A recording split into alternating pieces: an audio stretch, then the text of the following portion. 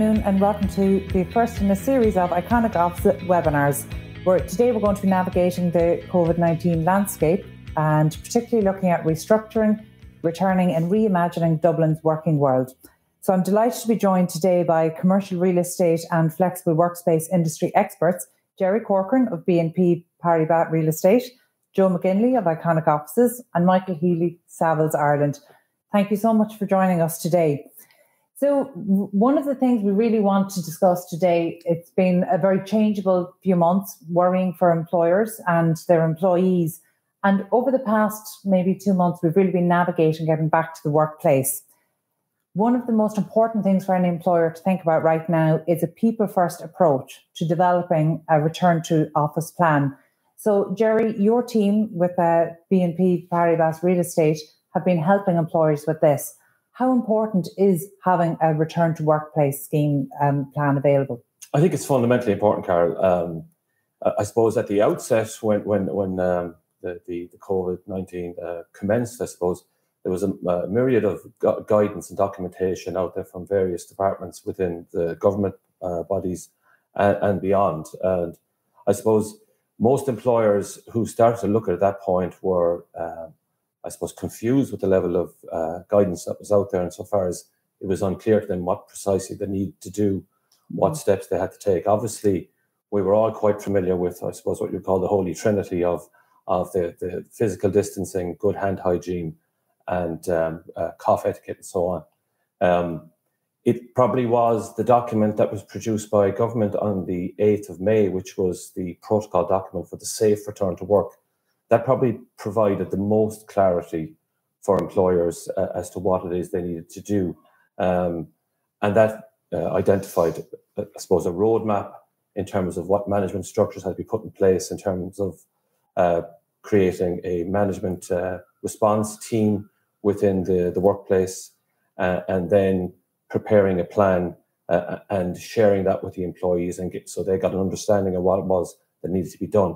And of course, then there was the implementation of those controls within the workplace, which are typically, I suppose, passive controls, uh, hand hygiene, uh, uh dispenser units, uh, screens where, where were necessary, uh, uh, route markings throughout the office space to provide clarity in terms of the movement through the office, and then the practical um, sort of organization of desking spaces so that you seated colleagues as, as far away from each other as possible um, on the return, but being mindful of, I suppose, again, the, the, the primary uh, directive from government was to continue to work from home for as long as possible. Um, and thereafter, obviously, the, the implemented the plan to, to help to get people yeah. back. And working from home where possible is still is still the guidance. But Jerry, do you think that the government protocol document, do you think that was issued in a timely enough fashion for employers? I think it was. I think I think it was. I think because a lot of a lot of employers and a lot of uh, I suppose professionals like myself would have been looking at it in advance of that and looking at best practice internationally, uh, particularly to see what uh, countries like China and Korea uh, had done um, as they were so far ahead of us in terms of uh, of introducing controls. So I, I, think the protocol document was very helpful because it helped to, to, to distill and condense the critical items, I suppose, that employers had to look at. Mm-hmm. Um, so I think yes, in, in in in in hindsight, it probably was timely because again, it would have been difficult to rush a document like that in, into the into the in, into the, the, the public arena because you know it was still evolving um, yeah. and it is to, to this day of course but. and actually that's a really important part of any plan that we discuss or any of the measures we discuss today it's the reality that the environment is changing on certainly a weekly if not a daily basis and that any plan put in place has to be responsive to that. Um, Michael, within Savills, you've had the experience that um, you have international colleagues that you can draw from their experience, um, not just during the lockdown, but actually in, in, preparing to come back to the office. So for for the Dublin office, how has your experience been? You're right about Savills. I've been an international business, and we've a big presence in China, and uh, so we learned quite a lot uh, early on about going back to the office uh, from our from our colleagues over there. Um, but in terms of what we've done, we've gone back in in two phases. Um, initially, you know, a small portion, it was something like ten percent went back, And then more recently, we're, we're up to about 40%. And uh, what we've tried to do is bring our sales teams back as much as possible um, and continue to um, facilitate our colleagues who are on the non-transactional side of the business to, to work from home.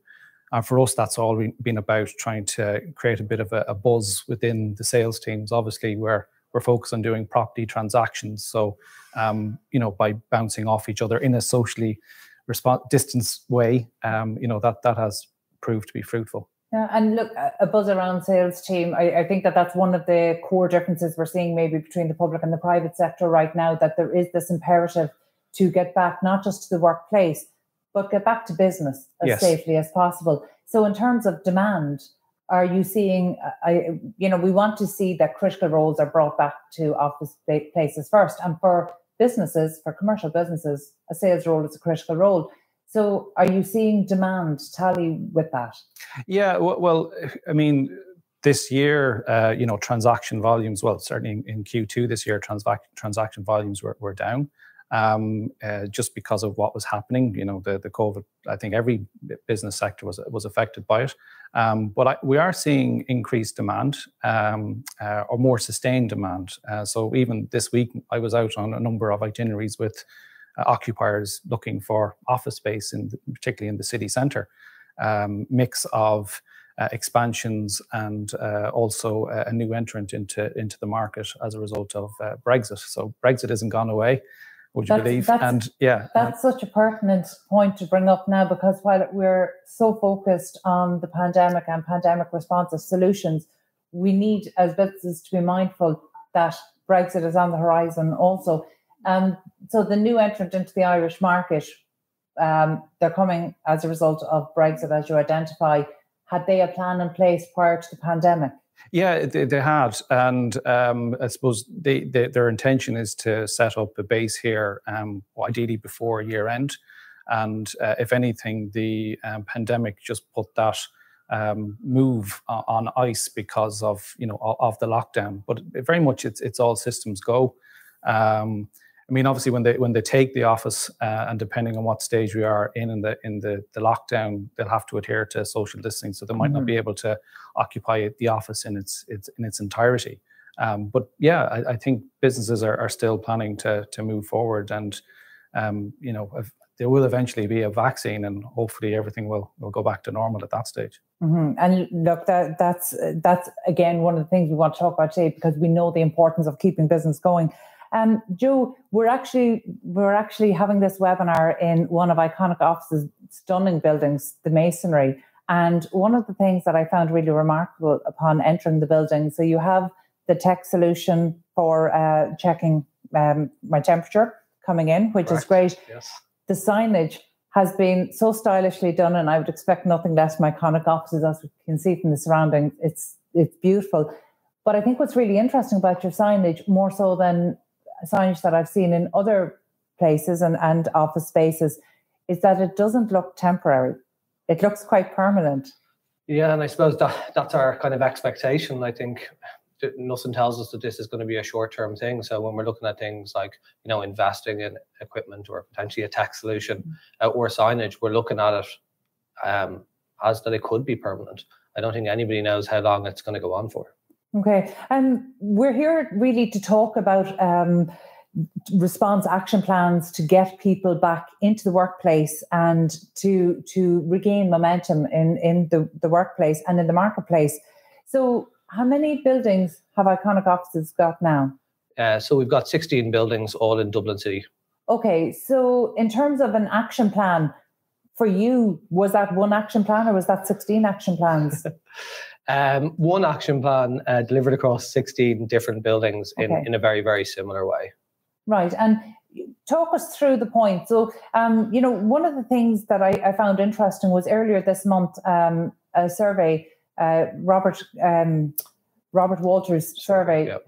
issued, and it showed that 29% of employers haven't got a plan in place for a phased recovery or for a phased return to the workplace. So, um, really, they're a lot of the people that we're speaking to today. You know, we want to show what does an action plan to return to the workplace look like. Um, well, for us, um, we I suppose we moved quite quickly to put our plan together, and we put together a kind of a draft 15 point plan, um, which we then um, that blueprint was installed in one building, which is the Lennox building on South Richmond Street, as a kind of a trial, just to make sure that everything uh, worked well. Um, I think the, the main thing that people talked about, and you touched on it, was the, the thermal um, camera uh, scanners that we've installed. So, mm. literally, when you walk into any of our locations, um, there's a, a, unit in front of you with a TV screen and a camera above it. As you walk towards it, you see yourself, and your temperature literally appears above your head on the screen. And it's red if uh, if you're or sorry, it's green if you're okay, and then red if you actually have a temperature. Uh, so the theory behind that is that if we can prevent anyone in the building have a, a temperature, we're much more likely to be able to pre- prevent um, infections. Okay, and, and, that makes sense. So that's a really important point of the 15 point plan. You know, what are some of the other things? Because I'd noticed that you have hand sanitizing um, stations almost in every room that, that yeah. I've come through. You know, what are some of the other key points when, you know, because you're a flexible work uh, workplace provider, you have people coming in from different organizations. So, yeah, exactly. have you had to change um, how people navigate the buildings? Uh, have you had implemented one-way systems? Yeah, so I think it's the, the tech piece people are most interested by. But then, yeah, yeah we have other solutions. So we install disinfectant mats at the entrance uh, to all locations. Um, um, we did lots of other things, uh, including the increased hand san- sanitization, which you talked about. We increased the airflow in um, all of the buildings where possible. Um, and uh, I won't I won't present the whole 15 point plan to you right now, um, but we put in as many um, different ideas as we could to, I suppose, make people feel more comfortable coming back into the workplace. Yeah, and and look, we can see that in action, and it, it's important to have these measures in place to halt the the spread of the virus. But there's a huge psychological element here as well. People want to know they're protected. So you know, there, there's a big there's a big ethos in compliance. You know, it, it's important to know you're compliant, but you also have to show you're compliant. And you know that's where we we will improve confidence of people coming returning into the workplace. And so, Jerry, you might just talk to us maybe about mm. um, the very practical roadmap that you recommend. So, when you're sitting down as a consultant, when you're sitting down with employers who are just starting this journey to get their employees their employees back into the workplace, you know, what kind of practical roadmap can you put in place for them? I think one of the first points is the one you just touched on, which is the importance of early engagement with the employees so that they're part of the plan. They, they understand the plan as it's being developed. Mm-hmm. So because ultimately it's a, it's about the employees, it's about the safe environment for them to return to. Uh, and it's critically important that, that they fully understand all the measures that are being put in place. And of course, and, to, and maybe it's restating the point, but it's no harm to restate it, that it's being done for their benefit to protect them and to ensure their safety. Um, in terms of how the plan would, I suppose, kick off initially, it's a matter. I suppose it's a matter of discussing with the employer what it is they want to do. Like, how many people do they want to get back? Is it a, is it a, a rotational uh, process in terms of uh, teams, or is it just a matter of they want to get particular teams, such as what Michael was talking about, about sales, but perhaps like client facing members of, of, the workforce who need to probably be in a more collaborative environment to bounce ideas off each other and, and, and to, to create that kind of collective energy to get work done. Whereas other teams perhaps uh, would maybe who wouldn't have a client facing uh, responsibility could perhaps continue to work from home or work from a different uh, location. So it really is in the first instance trying to um, establish what it is the client wants to do do you give recommendations about that? We do, we do. In particular, I suppose what we do is we walk, we'll walk the, the office space and mm. we will sort of um, engage with them in terms of what they want to do and then give them advice as to what we what we think would be the best solution in terms of how, how to get uh, mm-hmm. numbers of people back in. But it's initially it's it's a survey, it's it's walking the floor, it's analysing the, the client brief, I suppose, and then it's coming up with a with a with a number of, of ideas and solutions.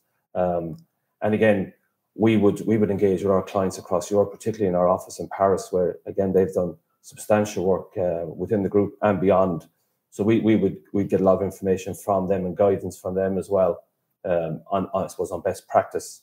Um, and then there's the matter of, of the budget, uh, which is a critical point again as to how much uh, employers mm-hmm. are, are uh, what they might consider to be a reasonable outlay in terms of getting this work done. Because again, I suppose at the outset, when we're looking at it, uh, it's human nature. We're all looking at this as perhaps a temporary measure, and you know we all want value for money. We all want to do the right thing, but at the same time, you know it's not a, a, a blank check in that respect.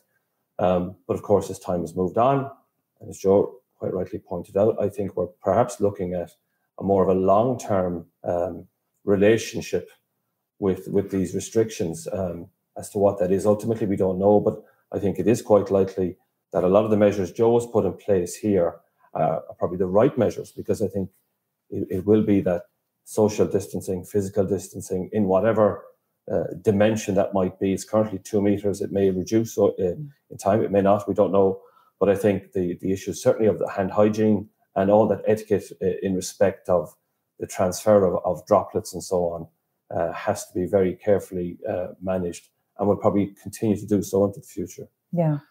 I'd, I'd be curious to know are you seeing um, people making major changes to the space, i.e., like cellularizing offices to that degree, or is it more the easier solutions around acrylic screens, hand sanitization it, it stations? Tends to be the more simplistic, the limited intervention at the okay. moment. Certainly, yeah, yeah, yeah. That's quite telling in itself, then, because that means people are seeing this as very much um, temporary measures, whereas Joe, through iconic offices, you've really embraced things as being not necessarily permanent, but of a more long-term nature. Yeah, I think I think that's fair to say. But at the same time, we haven't gone, we have invested in technology, and we've spent a lot of money investing, I suppose, on behalf of our members. But we haven't gone to the stage yet of rebuilding space um, uh, in that more fundamental way. And that's why I was just cur- curious to mm. see if that was something that J- uh, Jerry was saying. But I think right now everyone's mm. just trying to understand it. It's yeah. like the the data gathering phase before people make the more structural yeah. Uh, yeah. changes. I think that's a valid point. I think as we go forward, I think in terms of the the blueprint on the drawing board, in terms of design of of, of future office fit outs, I think you will see changes. I think changes are likely in terms of how the the office uh, footprint appears, the, the, the large open plan, uh, dense um, uh, arrangement may not uh, be the same into the future. I think we may see changes. We may see more cellularization. Okay, Michael, I might bring you in on that point yeah. because I'm sure your team are not just um, responding to client inquiries of, of this nature, but you're, you're, probably guiding them. As in, are you advising on these changes, and are the changes more structural? Yeah, so um, well, Savills uh, undertook a survey uh, quite recently, back in May. Um, uh, so we uh, sent out a questionnaire to over a thousand of our occupier clients, um, asked them questions about you know how they um, are using the office, um, what their experience of lockdown is or was, and um, the future, their future ideas of of, of the, the office environment. And um, I suppose the, the kind of what came out of that was that we're seeing that there, there won't be a, a, fundamental change in the in the amount of office space that corporates will require, but they will certainly be using their offices differently, um, and to to incorporate more remote and agile working. But also then the physical office space itself um, needs to cater for more you know collaborative and creative and and, and social spaces. So um, yeah, the the office um, as it's currently set up um, you know, where it thrives and what we found from the survey, it thrives from um, group activities. Um, so, you know, that collaboration piece, that uh, that creative element, um, you know, getting that buzz around the sales teams and what yeah. have you. Um, but remote people being forced to remote work, uh, and I found this myself. Um, it it does it is suited to more solo activities. You know, say if you're doing a reading a document or preparing a pitch or preparing a report it's it's it's great to be able to head off into your, your home office or your dining room table, whatever the case may be, and, and, and do that element of it and not be inter- interrupted by your by your colleagues. So I think going forward, um, you know, office design I think needs to change to cater for both those solo activities um, and yeah. you know large meetings and, and collaborative spaces. Does it feel like maybe the pandemic is accelerating trends that might have been at play um, but perhaps kind of in the background or maybe not a priority. Like, for example, remote working. Yeah. You know, it was one thing when remote working was and using technology for virtual meetings. There was a, an, an element of novelty. And then all of a sudden it became necessity. You know, I've heard it or I've read about it being described as um, the, the largest uh, beta test in history yeah. for the workplace. And I, I, think there's an element of truth in that. Um, and one of the things that we're seeing now is that, you know, people who wanted, who thought they wanted remote work, maybe remote work is not quite what they pictured it to be. Um, but the most recent stats are showing that the majority of Irish employees, um, I think there was 93% of a, of a 2,200 person survey, and 93% of Irish employees surveyed said they do want the opportunity to remote work uh, more often. But interestingly, only 11% wanted it full time. Yeah. And I wonder if before the pandemic we'd had a similar survey, would those figures have been the same? Yeah, we, have done similar surveys. So last year we did a, another survey called What Workers Want, and that threw up that generally employee employees wanted to work, say, one or two days a month from home. Uh, whereas in the middle, when we did it again in the middle of the pandemic, that had increased, um, you know, to two or three days a week. So we're going to do the survey again, you know, maybe in October um, to see if there, if there's been any any change. Um, but I think that yeah, as you say, the, the, there was there was a lot of talk about remote working before mm-hmm. the pandemic, and um, I think what the pandemic is or the lockdown has shown is that many companies are well, all companies now are set up to to do that. Um, but as well, I think it also has highlighted the deeper we go into uh, lockdown, the need for an office uh, to, a need for that place for teams to to get together and and and uh, move on. And I mean, I find as a as a manager, it's particularly you know hard and difficult to to manage a team remotely. And um, and, and I would hate to start, uh, you know, as, as a graduate or whatever in the industry now, in the middle of a, of a lockdown, when you're not surrounded by your your employees or your your your colleagues and your your mentors. So um, I think yeah, the the the yeah the lockdown has really kind of shone a light on how we use the offices and the yeah. need for it. I, I, you know, and I think in the in the spirit of it, acceleration trends that were already in place, I think it's really tested some of the technology solutions we put in place, and some of them have really excelled, and some of them have not, and that's the reality. So when you talk about uh, the challenges in managing your team remotely, you're certainly not alone, um, because the the survey I referred to earlier showed that 75% of employers felt their senior management team weren't equipped, um, not not, not from a technology point of view, but maybe from a training point of view, to manage their team remotely. And so it does, of course, influence people coming in on entry level jobs if their first experience in the workplace is being managed remotely. We just don't know how to even mm. navigate that. Um, so, Joe, is that something in terms of the change in culture? There are so many there are so many aspects to the restructuring and when it comes to reimagining the workplace and managing remote teams is one of those. Yes. You obviously were in a position that you as a business leader had to manage your team remotely. How how was that experience for you? Uh, I thought it was challenging. Uh, it was definitely more challenging than being in the workplace. Um, we we started to take our staff back, um, I suppose, reasonably early. And um, we were quite lucky in that obviously we're in the, the workspace business, so we had plenty of space and we could ensure the two meter distancing by putting people people over a greater area. So we did manage to get people back to the workplace earlier. But I think for most people, if they're being honest, uh, managing people remotely, especially from kind of like a HR perspective, is really challenging, I think. And most people just don't have the answers. I wonder if when we're talking about, you know, the action plans to get the workplaces ready, is there something we ought to be doing to get employees ready to return? I'm going to throw it out to, to all of you. Have you, in your experience over the past few months, how have how receptive have employees been? Well, everyone everyone has their own opinion, and I mean, you can't force someone to come back to the office. Mm-hmm. Um, you know, some people are genuinely scared about you know using public transport, as the case may be. So, I think Jerry touching it. I think the first step is to to do a survey amongst yeah. the staff to see what their uh, opinions are, and then try and incorporate that into into the plan. Yeah, about coming back. Staff questionnaires yeah. very important. A, a, quite a broad range of, of questions, and then the opportunity for staff to input their own questions okay. answers. Did your organisation uh, do that for your did. team? Yes. yes and what yeah. kind of insights came um, from that? It, it, it, it, was mixed. It was it was predominantly positive. Um, I think most people, whilst the initial phase of, of working from home was perhaps seen as a little bit of a uh, of a novelty. I think it, it, soon started to wear off for certain people because of the challenges of trying to trying to work exclusively from home. Um, I suppose largely to do with you know if you've young children and so on, or you've got other other factors that you need to try and work in during your day that ordinarily if you were in the workplace you could be going somewhere else thereafter doing something else uh, whether it's another activity or whatever it might be um, i think there was definitely um, uh, a sense that initially it was kind of exciting and was, oh this is great we can you know mm-hmm.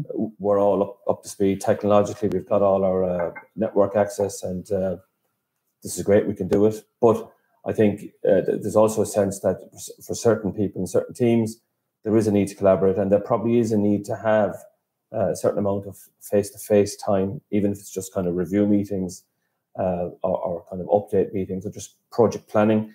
That that's better or best done face to face. Obviously, we have Zoom and WebEx and uh, Teams, and we're all experts now and all of that. Um, but initially, that was probably a bit of a challenge as well because I suppose again if you look at certain sectors are more geared up towards uh, remote working and have been for the last decade or so. But for many, um, uh, I suppose, many companies in, in various different sectors, that wasn't the norm. So there was there was a steep learning curve as well.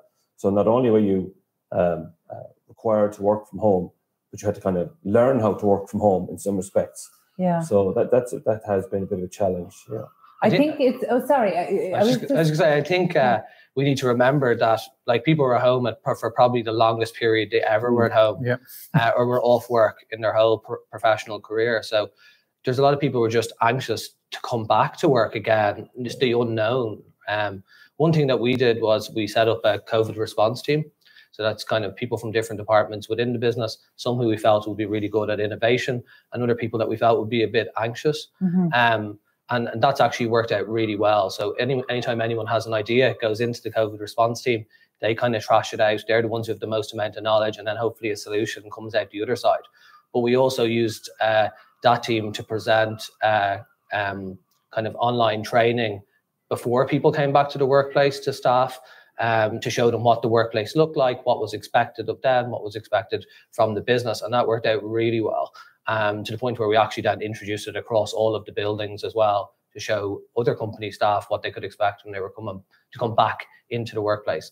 I think that decreased the level of anxiety people could actually see in advance what was happening in the workplace and what changes they were going to be met with. That's very useful to, I, and I know in, in the construction industry, the, the CIF actually did something quite similar where people had to undergo um, two hours of training in advance to come back to site again, just to know the the what the experience would look like, even if it's a case of uh, not all coming in at the same time, not all coming in through the same door, following a flow of path. You know, making all offices like the interior of IKEA, uh, essentially, but following yeah. Yeah. following a path. And I'm just looking. Obviously, this webinar is going out live, so we have some questions coming in, um, and I'm just going to throw them out to the group there. And one of the questions that has come in is Do you think that um, the office space per employee will actually increase and embrace a more uh, Google or Facebook style, even? Now, I, I, am not sure who that question is for. So, Michael, I'm going to throw it over okay. to you first. So, do you think that office space per employee will actually increase? Well, yeah. So at the moment, um, well, before the the, the lockdown, um, the typical ratio was one person for every ten square meters, mm-hmm. um, and now, you know, to accommodate for for social distancing, it's gone up to one for every twenty square meters. Um, but every organization is different. So I think when the when the pandemic is gone, and hopefully there's a there's a there's a vaccine. I mean, my own opinion is that um, it'll it'll go back to the the one is to ten square meters. Um, but I think the way in which we, as I said, the way we which we use the office is going to be different. So there's going to be more agile working. Um, you know, um, the the days of the vast array of open plan offices on their own, I think, are well, it'll it'll still be there, but it'll need to be complemented by having more uh, space for um, you know thinking and and solo activities. So maybe you know libraries or more booths for um, Zoom calls and team calls, um, both individual and then obviously you need bigger conference facilities to be able to connect with um, both your clients who are um, off-site uh, and also your colleagues who might be continuing to, to work remotely. So all that has an impact on the amount of space that uh, corporates will need. Um, I think certainly in the short term, corporates are going to be, um, you know, uh, not be splashing out the cash and refitting all their their offices um, um because of you know the, the global downturn. But I think in time um, they will, and the office will, it, you know, it's it's going to have to be uh, an enticing place um, to get employees to, to, to work from, and you know, the war for talent is going to mean that offices, employers are going to have to provide really good uh, flexible uh, uh, workplaces to be able to attract the right talent. Yeah, and I think that that your opinion is weighted more coming from Savills, who's seen obviously as such a, a leader in the office space here in Ireland. So I, I have to ask then, are there concerns within within Savills Dublin, you know, about the impact of the pandemic and what it's going to do to the office market in Dublin? Over the the next kind of 12 to 24 months? Yeah, well, in, in the short term, um, you know, transaction volumes are down and that's, you know, a big concern. But I mm-hmm. think, you know, looking into the future, I mean, we published a report there in conjunction with um, Dublin City Council called uh, Why, or D- Dublin Chamber, should I say, um, called, you know, Why Dublin, um, looking at all the reasons why all these multinationals are, are coming to, to, to, Dublin in particular. And, um, you know, when the last downturn happened, um, you know the the office market was really driven by you know indigenous demand whether that be from governments or big law firms or whatever the case may be. Whereas now uh, i mean dublin is full of you know tech companies uh, financial services companies aviation leasing pharma companies um, all international uh, and they all have office requirements. And albeit you know some of their employees might be working remotely more they still have a requirement for office space. So, I mean, I, I, think you know, you know, into the future, I'll be quite positive about the the office market in Dublin. I think it's uh, Dublin is a global tech city. Um, nearly, I think most of the tech companies in the world are based here. Um, so, look, I think the outlook is positive for offices. Okay, and obviously we're here today to discuss offices, and I don't want to take us off topic to any great extent. However, you know, we need to acknowledge that um, there is office space being delivered for hundreds of thousands of employees within the capital, and there are living spaces for tens of thousands of employees. Well, How do we marry that? Well, there's there's a lot of a lot of residential under construction at the moment. So if you go down the Docklands, for instance, and you see all these office blocks going up, you look behind them and you can see a residential block going mm-hmm. up as well. So the PRS or private rental sector uh, is is is booming in Dublin. So there's a lot there's a lot of you know, that stock coming on, uh, and there is more stock coming available in in, in the suburbs. Um, also, I suppose our uh, our you know the the age profile of um, you know our population is changing. So um, that in itself is going to add more stock yeah. to the to to the market. So I think going forward, like we we've gone through a you know a residential crisis, but I, I think we're coming out, and that there, will, there is more residential on the horizon. Yeah, and uh, look, it's not something that we want to get bogged down in yeah. today because it's not the reason why we're here. However, I think it's really important that we acknowledge uh, the concerns that employers have when they're looking at either taking on new space, extending the space that they have, or investing in changing the space they have uh, whether it's as a result of, of, the pandemic or what the likely long-term impacts are going to to require. Um, so there's a lot of uncertainty for businesses right now.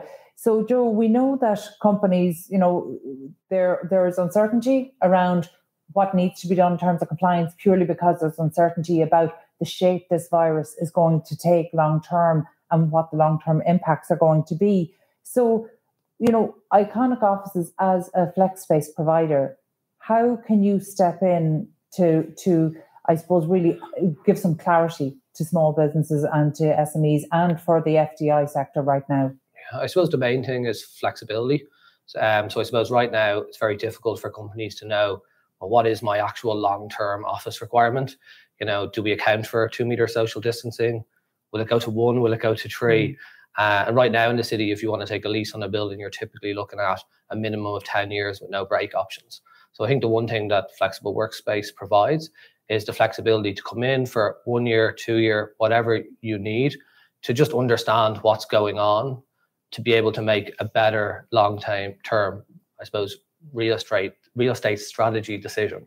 Mm-hmm. Um, on top of that, then I think um, if you go to a high quality flexible workspace provider, uh, you'll also find a lot of your issues solved for you, um, as they'll have implemented a lot of um, the COVID prevention strategies within the building, um, and that's something that all companies then will benefit benefit from and also save money on.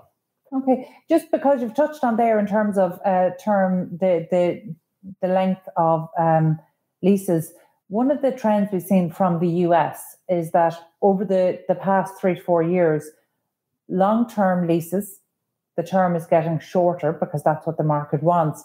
But significantly, and perhaps more surprisingly, for short term leases, the length of time is getting longer. So um, when when businesses were traditionally looking at more flexible workspace, or particularly for co-working spaces, mm. they were looking at much shorter term leases, and the trend is now that they're actually getting longer. Yeah, no, that that is true. But ultimately, the client can decide what's right for them. So if they want it for six months, twelve months, twenty-four months, thirty-six months, typically an operator will be able to cater to that. Uh, but definitely, we have seen, uh, even since we've been in business, the term mm. that people are looking for themselves is naturally increasing for sure.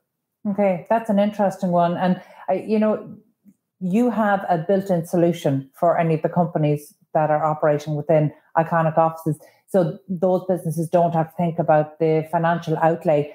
But, Jerry, one of the things as a consultant, you, for your team, how are you finding um, costing projects like this? Is it cost prohibitive for any businesses to make their premises compliant? No, no. I think um, I suppose to give you an idea um, on the, the projects we've worked on for offices up to say approximately five thousand square feet, which should be a lot of a lot of the the, the smaller Dublin office uh, uh, sort of marketplace. Um, we're looking at figures around two to three euro per square foot to introduce the standard suite of measures, let's call them, such as the screens and the hand sanitization. Two to signs, three euros two per to square three foot. euro per square foot, yeah. Um, then when you get up to the larger formats, when you go sort of up to 10,000, approaching 20,000, that might move closer four to five because there's other issues there that, that are introduced. Um, for example, air conditioning systems on the larger larger office spaces, you need to look at perhaps making modifications to them, introducing uh, UV filters. Um, and probably as Joe said, as he's done here, you're introducing the uh, or sorry, increasing the the rate of airflow. That typically, and because Michael's point earlier about your standard kind of design for office space is uh, one person per 10 square meters. That's your your kind of occupancy ratio at the design stage. Similarly, in terms of uh, ventilation and fresh air, it's 10 liters per second per person. So you may look to on, on the larger footprints where perhaps you have a fully um, um, mechanically ventilated building, for example, you may look to improve that and increase the uh, amount of, uh, of fresh air, uh, uh increase your air quality in into the building. So there are obviously costs associated with that. And again, similarly on the larger buildings, you may have issues around vertical circulation because you may be over uh, multiple floors. So uh, the costs vary, but typically, it's said on the smaller properties up to 5,000 square feet or so, it's around two to three euro square foot. And then, sort of between that and 10 to 15, 20,000, it can probably go up to four to five per square foot. Um, it really depends on, on what it is you want to do. But I suppose, in a nutshell, it's not cost prohibitive.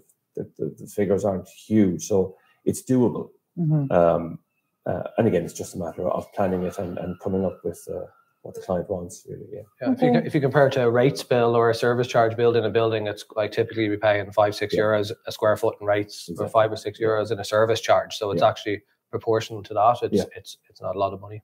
Okay. And obviously, in terms of value, it's there. But if we're looking at the larger jobs and we're talking about, say, people who are just embarking on an office fit out now, you know, you referred to there may be some HVAC uh, mm. systems um, in terms of your ventilation, your air conditioning, things like that, upgrades. Do you think that for office fit outs now, do um, do occupants need to be implementing changes on a more permanent basis, as a result of the pandemic?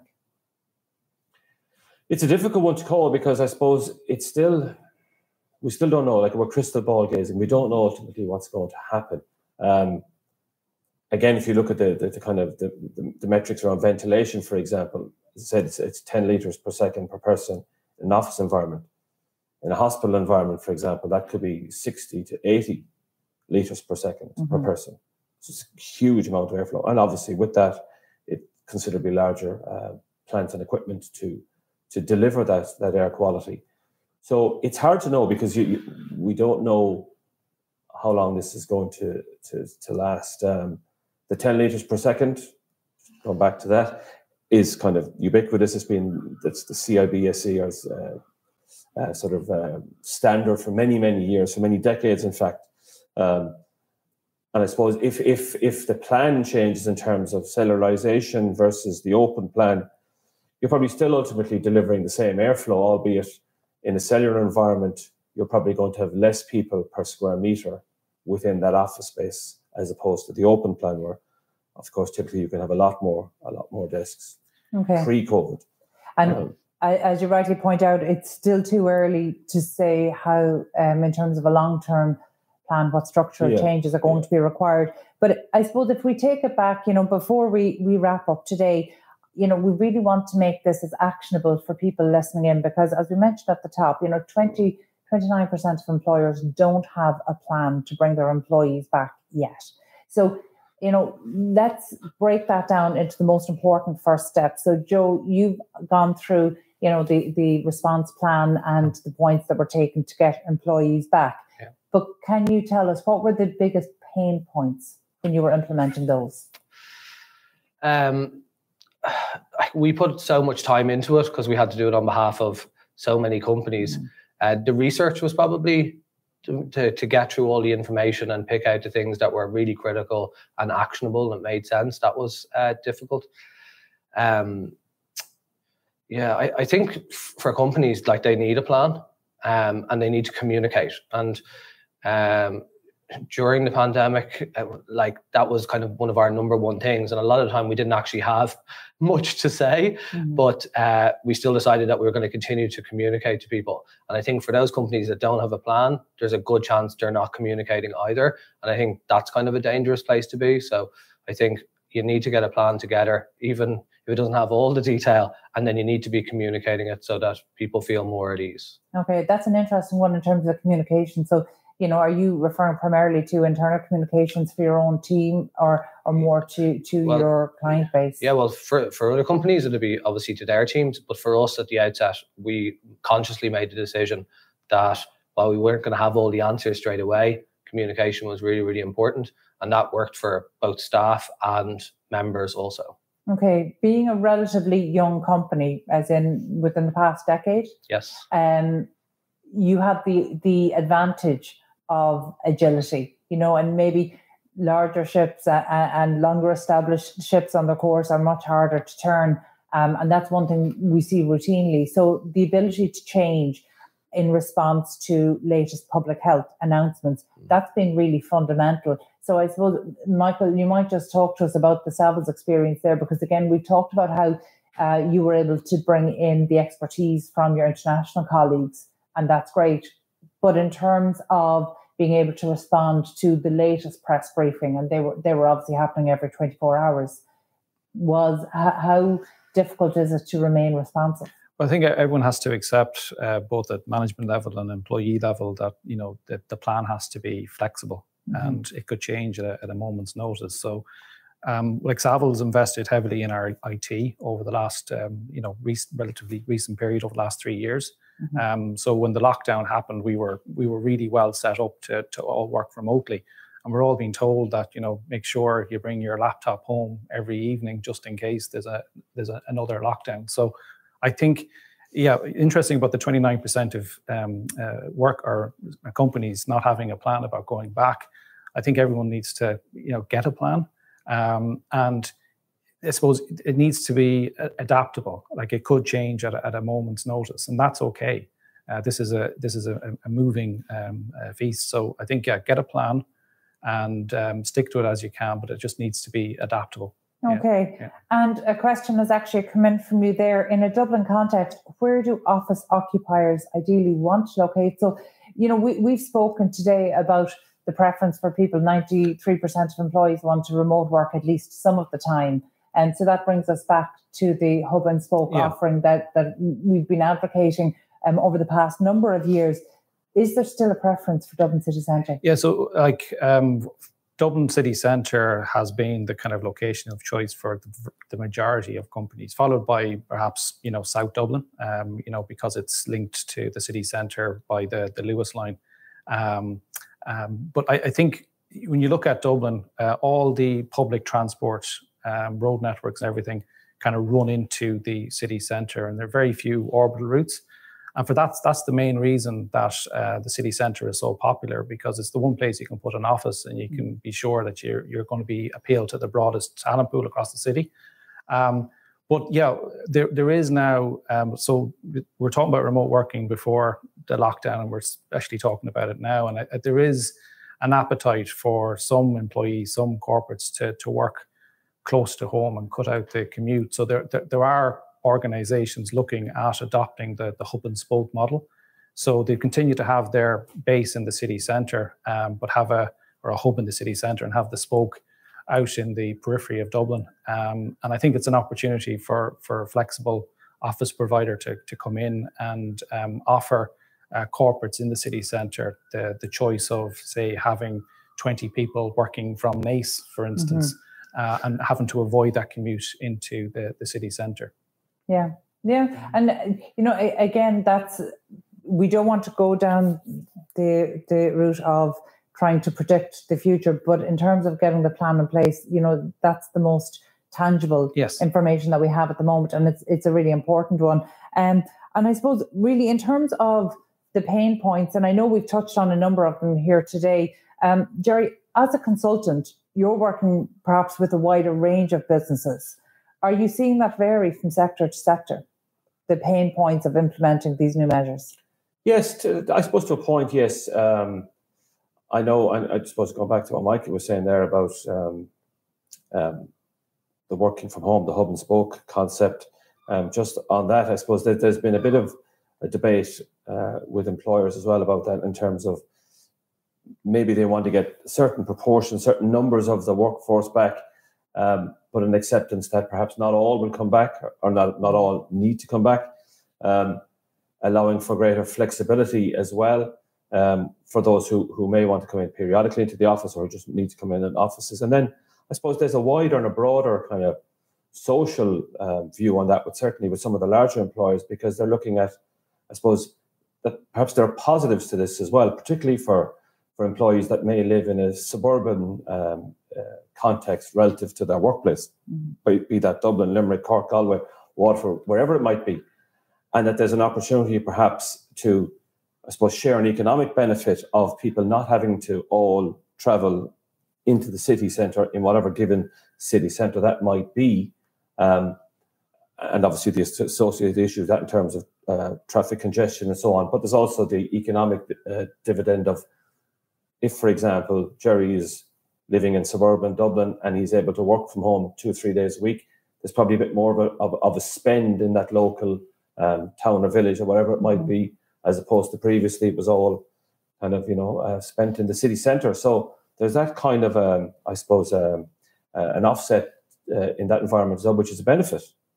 Um, and I think so. So employers, once you talk about the, the I suppose the pain points, they're also looking, I suppose, mm. the, the, the the positive aspects of it. So it really it really is a balancing act, um, and it's down to what individual employers want. I think going back to your point on the twenty nine percent who have no plan in place yet, I suspect some of those may be uh, very large companies who, again, using your your your your large ship uh, analogy, again, it's it's it's it's a large plan for them to try and implement change um, across uh, their entire workforce, perhaps. So they're probably practically looking at it in terms of we've invested to get our people working from home. It's working fine. Uh, we're happy with productivity.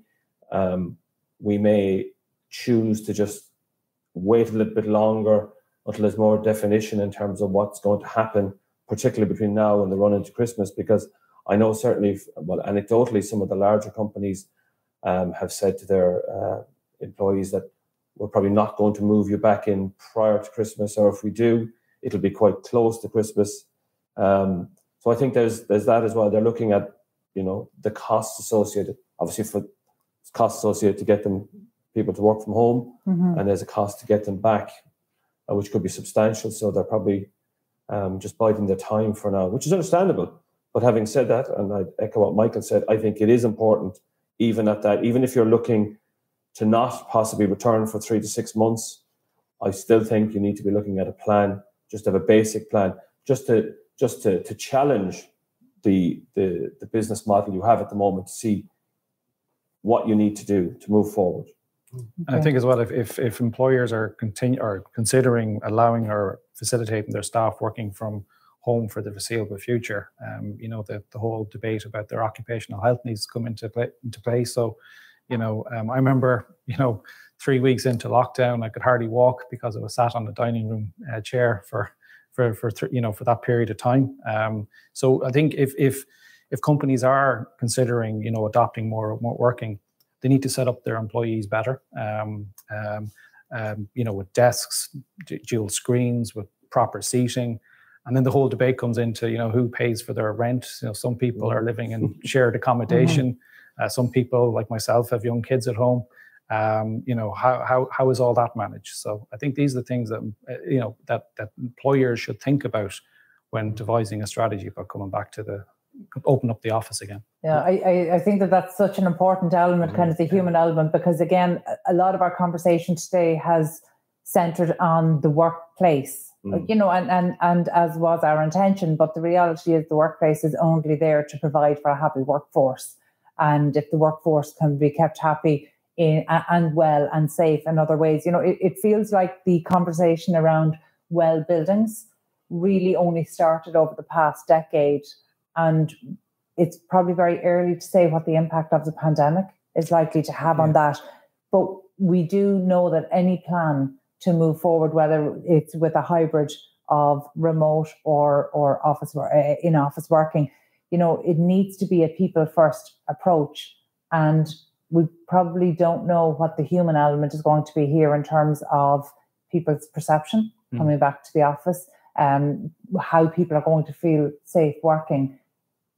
It's very early to say how that's mm. going to yeah. change. I mean, do we do we know how the culture? Joe, you through iconic offices you know you're not just responsible for the culture of your, your own organization but you're you're really steering and helping to shape the culture of so many other organizations under uh, under the roof of your 16 buildings yeah. how do we know how this is likely to impact yeah well i suppose for us we would have done a lot of kind of events um, and I suppose network within the physical buildings at the time uh, to bring the communities together. And then as soon as the pandemic hit, we had to react really quickly and uh, adjust the business model to get the events online. Um, so we set up a virtual events program where we were delivering yoga, Pilates, lunch and learns, talks uh, into people's homes. Um, so yeah, it's no doubt that companies need to adjust and need to account for um, making sure that their employees aren't isolated in their home. Mm-hmm. Um, because I think we've all heard stories of how that can uh, affect people's mental health. So it's really important that employers keep an eye on their company culture mm-hmm. and still find ways virtually to bring their teams together. Yeah, I, uh, the product. I, I think the wellness issue and the productivity issue they dovetail nicely mm. because in the first month or two of lockdown, businesses were very surprised to see the productivity levels were maintained and mm. in some cases exceeded. I wasn't surprised by that at all because as somebody who operates and runs a remote team, our graphic designers in Canada, our web developer is in North Kerry. You know, so we, despite having an office in Citywest, we we have been operating remotely um, and managing remote teams for a long period of time. However, one of the things that I'm very aware of is that when you're working from home, there is a tendency that an eight-hour day work turns into a ten-hour day, yes. but but it's a very real ten-hour day. Mm. You don't have time off while you're commuting from one meeting to another. You don't have downtime when, when you arrive 15 minutes early for the meeting and you have coffee and you get to check your emails. There's no downtime when you're working from home. And that's one of the considerations I think that makes working from home um, yes, productive, but I'm not sure about in terms of health benefits. There needs to be a discipline. We need to learn if we're going to work from home. Sometimes we need to learn how to do that safely. Yes. Yeah. yeah. Is that something that employers have a responsibility towards? Because we talk about employers wanting to maintain productivity through a mm-hmm. remote team. How responsible are they for maintaining a good life work balance and maintaining the health of staff that are working from home? I think I, from our experience on the on the on the work we've done with, with, with various employers, I think they're they're acutely aware of it. They're very concerned about it because ultimately, your workforce is your business. And that's mm. that's that's that's that's what we're, we're dealing with. That's what it's all about, I suppose. And they they they they are they are concerned both for clearly the the the employee, their workforce at home, how they're managing at home, and then the process of getting them back into the workplace. There's no question about that.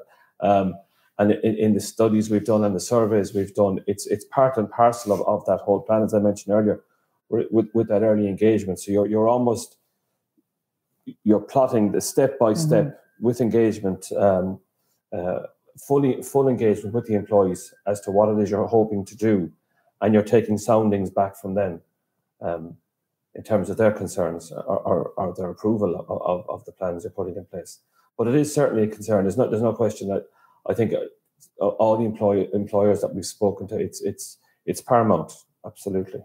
I think it is a concern. I think the reality is for a lot of employers, especially the more indigenous ones, they just don't have the tools. They just don't have the experience. This was something for a lot of people that just mm. was landed upon them, mm. and you know they're grappling around trying to find solutions and they don't have the training yeah. themselves or the experience themselves of having worked remotely for a company um, themselves. So um, it's difficult.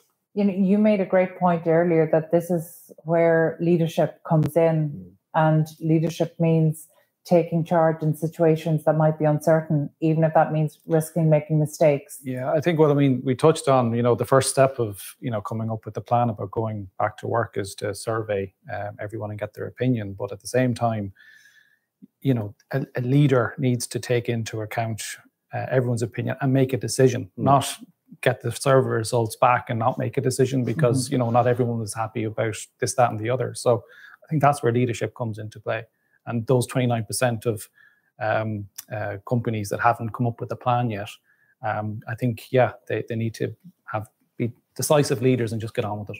Okay, actually, I think they're great final words to finish on decisive leadership and just get on with it. Um, my thanks again to Jerry Corcoran of BNP Paribas Real Estate, Joe McGinley, Iconic Offices, and thank you for hosting us no in this fabulous building today, and Michael Healy of Savills Ireland. Thank you for being with us, and thank you for joining us remotely uh, for the first in a series of Iconic Offices webinars where we navigate the COVID 19 landscape. Thank you. Thank you. Thank, you. Thank you, Joe. Thank you. Gentlemen, thank you thank so you. much.